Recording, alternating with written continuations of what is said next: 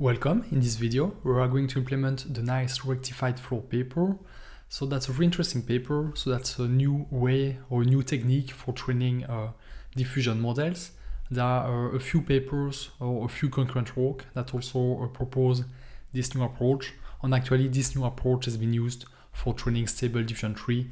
Um, so yeah, it's very promising. Um, yeah, it's, it seems now to be like the go-to approach for training diffusion models and it also is very uh, yeah it has also a lot of uh, of other applications the main benefit is that the the base distribution should no longer be a well-behaved distribution such as a Gaussian distribution um, yeah, but uh, I invite you to have a look at the paper.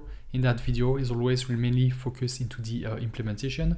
But if you're interested uh, into more like paper review or more like yeah um, high level or mathematical overview of the paper, we can do that as well. Um, so yeah, these are the results we're going to get by the end of this video. So basically that's a reproduction uh, of figure, uh, I think it's down below. Um, it, I think it should be figure, it's very deep into, okay, it's that, that's this figure, figure 7. So we're going to reproduce, uh, yeah, the uh, first column uh, I think we're going to use a L2 penalty. So basically this is uh, this figure we're going to reproduce. You can see that we reproduce it pretty uh, faithfully. So basically we have two distribution, one in purple and one in red, and we're going to learn to, to move from one distribution to the other one. So basically one of the distribution is the, uh, we can assume that it's the distribution that we know, that we have uh, access to at inference time. We can sample from it easily. On the other one is the distribution we want to be uh, able to sample to. Uh, well, we want to sample uh, from that distribution on using the base distribution. Uh, we can map the base distribution to the target distribution. So okay, let's have a look directly into the implementation. As always, we're going to use uh, PyTorch for the implementation. Uh, and uh, yeah, basically here we have a very simple toy problem as you've seen. So we're going to use the MLP as the backbone for the diffusion model. Um, so basically, yeah, we're using MLP with a context. So basically, it's a conditional model on the conditioning will be the time t uh, at which we, uh, we do the denoising step. So we have a simple MLP with uh, yeah, two hidden layers with a tangent, with a hyperbolic tangent, its activation function. Uh, on the forward pass is very simple. We concatenate the input on the uh, conditioning and we feed that to the neural network. Of course, there are more more advanced conditioning scheme. for example, they are used in U-Nets, for example, or Nowadays, like Stable Diffusion 3 is no longer using CNNs, it's using transformer, transformer-based models. So all uh, transformers uh, on the yeah uh, specific conditioning scheme, a bit more advanced than just feeding the uh, than just concatenating the input on the context.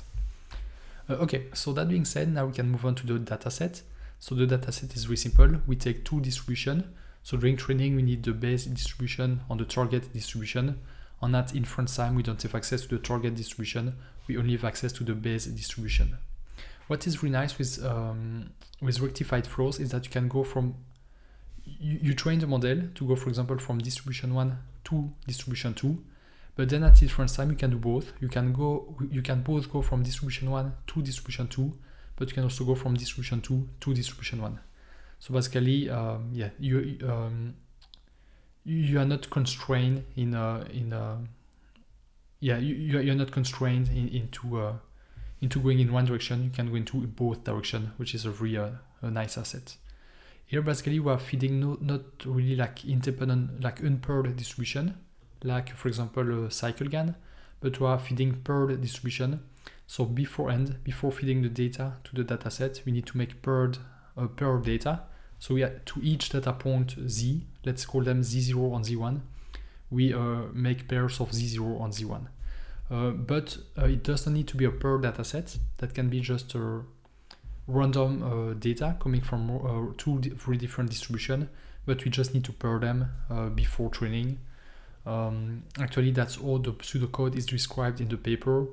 Actually, it's not really we could actually design the dataset uh, without that constraint that will work fine as well. Uh, okay, then we have the length of the dataset, which is of course the, uh, the length of each distribution. So basically distributions are uh, tensors, um, PyTorch tensors, and therefore we return the number of elements in the tensor. and then the get item function just uh, yeah uh, returns the the data at the at the given index. Okay, uh, now we can create a distribution to well we can create a function to generate the data set. So to generate our distribution, as you have seen, um, yeah, as you've seen, these are a multimodal distribution. So basically what we are going to feed are the modes, so the centers of each of each cluster, uh, and then uh, for each mode, we are going to sample a multimodal, or not a multimodal, but uh, a multivariate um, Gaussian distribution, and then offset the Gaussian distribution by, by the mode. So basically what we are doing, we are sampling from the um, multivariate Gaussian distribution, and then we sample one of the mode from the, uh, the modes we received as input, and then we offset the Gaussian distribution by the mode, and therefore we will sample one one point, for example. Uh, so here from the eight uh, purple mode, we are going to sample, uh, yeah, one one point somewhere over there. Okay, so when this is done, we can append the sample data point to the data set, and then the data set is a list, so we can convert that into NumPy array by uh, yeah converting uh, very simply using the np.array function. Uh, then we can uh, move to the most interesting part of that uh, video. is the function to train the rectified flow model. Um, yeah, we take as input rectified flow, uh, its optimizer to train it, then the training uh, data loader, the number of epoch we want to train for uh, on a epsilon constant. We're going to discuss that in a moment. So we iterate of the number of epoch, then we sample um, the yeah the the, the data point z0 and z1 from the batch. So basically data from the first distribution and data from the second distribution uh, and then we can uh, push them to the device. We sample uh, some point t randomly, so t between 0 and 1. So basically at 0 that means we are at data point uh, 0, z0, and at z1 we are at data point, uh, when t is equal to 1 we are at data point z1. So basically we are creating zt, which is an interpolation between z0 and z1 uh, yeah, on t is trampled randomly between 0 and 1. And basically here what we want to, to um, so again, I, I won't dive into the paper, just focusing on implementation. If you want to learn more about diffusion models, mainly like the uh, uh, the way to train like uh, vanilla diffusion models, if you're interested in stable diffusion 1, stable diffusion 2, I have a full course about that. I will put the link in the description. Um, but yeah, here let's come back to the uh, to, to the code. So basically we interpolate zt between 0 and z1. Then we uh, we create the target drift force. So basically the, the drift force to go from z0 to z1.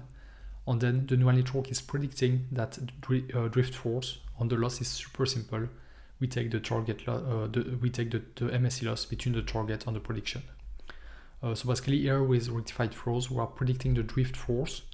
Basically we are solving a differential equation and we predict the drift force and then once we know it we can um, we can solve the uh, differential equation with Euler method but we're going to do that in a moment. Uh, and then we can do a gradient step uh, by backpropagating the loss. So as you've seen that's super super simple uh, in comparison to other like uh, well to um, to the uh, vanilla diffusion model loss that's much more simple. Okay, so here when we sample, so basically we need to to solve the differential equation that relates z0 to z1. So basically we are starting from here the way we've implemented that function, we're starting from p pi 0, so from distribution 1, and we want to go to distribution 2. So here we just create a list of samples. So basically that will allow us to um, to track over time uh, the um, basically little by little we'll go from distribution 1 to distribution 2 on in samples we're going to uh, save the full path the full trajectory. So basically we iterate over t. So big t is the number of um, uh, of step to uh, to to to to, to solve the uh, the uh, differential equation the number of uh, yeah of step for the Euler, method. So basically what what we do we um, we create t that is equal to dt time i. So for example, let's say that big T is equal to 10. T at the, uh, in the first iteration will be equal to 0.1, then 0.2, 0.3, and so on and so forth. Then we uh, predict the drift force uh, using the rectified flow. and then we uh, update the um, the trajectory. So we take the last value and we do plus drift uh, prediction times dt. So basically we are, uh, yeah, it's very simple, using a simple method to solve a differential equation. That's a bit like a rectified moving, like a, in French we say MRU. I believe in English, in English it's you know, like uh, rectified, well, like uh, x is equal to uh, x0 plus t times t plus uh, v times t. okay, anyway, let's move on. Sorry for that.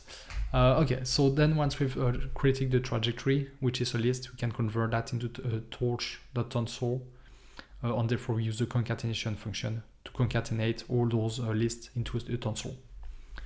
Okay, once this is done, we can finally put all the pieces together. So now we have all the functions we need to, uh, and we can assemble them. Um, so yeah, we've done most of the work and you can see it's very, very easy. If you're interested into diffusion models, because uh, yeah, that's, even though that's uh, already maybe, uh, let's look at the date of the paper. I think it's one year old. Yeah, okay, so even more like it's uh, 18 months old. So even though it's 18 months old, uh, like the uh, the standard way or the vanilla way to train diffusion model are still used a lot. So it's not it's still not like the de facto, but yeah, it's still it's used a lot. For example, again, stable diffusion 3 used that way to train diffusion models. but yeah, you can see it's very simple. But what I was gonna say is that if you are interested into diffusion model more generally, I have a lot of other videos on my channel. I invite you to have a look at them, and we'll see that uh, sometimes it's uh, usually it's much more complicated than that. So okay, so we create the batch size, the dataset size. We're going to train on 10k images, well, 10k data points because we're not working with images. We're going to train for 2000 epochs. And as in the paper, figure 7, we're using a weight decay of 0.01. Uh, okay, so basically here we're just preparing our dataset. So we, here we, pre we, we uh, sample the theta, uh, so, so using polar coordinates, we sample the theta angles for each mode.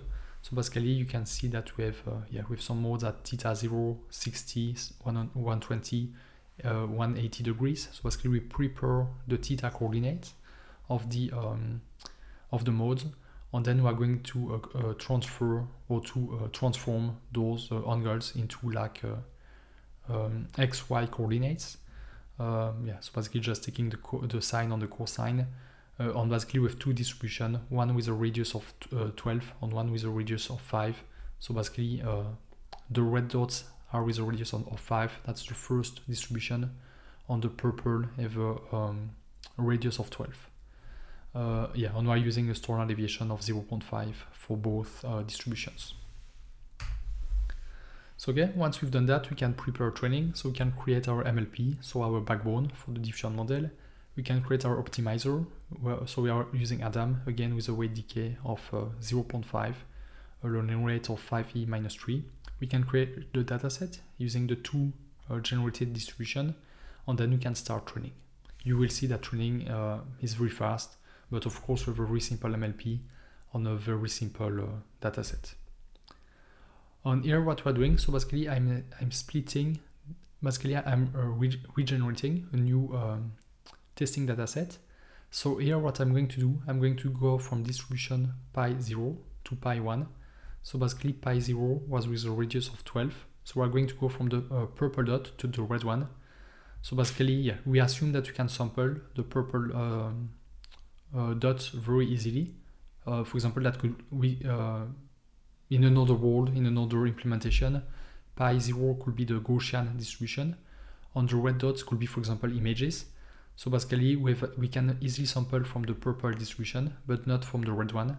And therefore, we sample data points from the purple distribution, and we use them to generate uh, the, um, the red distribution. So here, basically, what I'm doing, I am splitting uh, when I'm generating this new test set. So I, I don't want to use uh, pi zero, otherwise uh, those will be training data, and there might be some overfitting. So I'm going to generate new data points that the model has never seen. Um, but basically, before generating them, I'm splitting the modes in two. So uh, basically, I want to do that so that I can plot some lines in, um, in green and some other in blues. So first I'm generating, I'm uh, generating a data set with only three modes uh, on sampling new data points from them. And then we are doing the same for the purple, uh, well, for the other, other trees so that you can plot in, in blue and in green. okay, so basically we're splitting the theta in two parts. So we're taking one theta over two, and then we do the same but with an offset of one. Uh, we're generating the modes. Once we have the modes, we can sample new um, a new test distribution. So new new data points from the test distribution. Well, new data points from the base distribution. That will be uh, our our test. Uh, we can see that as a test distribution. We are going to sample new data points, uh, and then we can plot them using plt.scatter. Uh, so basically, this is what you see on that figure: the purple and the red uh, dots. And what we are going to do now in the code is to add those lines, those blue and green lines. So basically here maybe there, there is a better way to do that in Matplotlib, but here uh, a no a no or maybe a, a, way to do it without spending too much brain energy uh, is just to plot each line in individually. Uh, on basically, so basically yeah, we are plotting the trajectory. So basically here it seems it looks continuous, but basically these are lots of small uh, um, small sections uh, and therefore we see uh, we, we really see all that purple dot is uh, is moving towards the the red points. Um, yeah, and therefore what is very interesting with rectified flow is that you can see that it's very uh, the neural network learns really like the uh, the shortest the shortest path or the linear path between the uh, input on the output, or maybe from one distribution from the base distribution to the target distribution, but uh, yeah, for example, uh, this cluster do not connect to that cluster. It's really like the shorter path, uh, and that's why they are so powerful, even though they're very simple to implement. Okay, and finally, when we are done, so we've we've plotted uh, the, the, the points, we've plotted the lines between them. We can uh, save the image. So I really hope this video was helpful to you. If it was, uh, please leave a thumbs up. It's really helpful and subscribe for more content related to uh, diffusion models uh, and to machine learning in more general.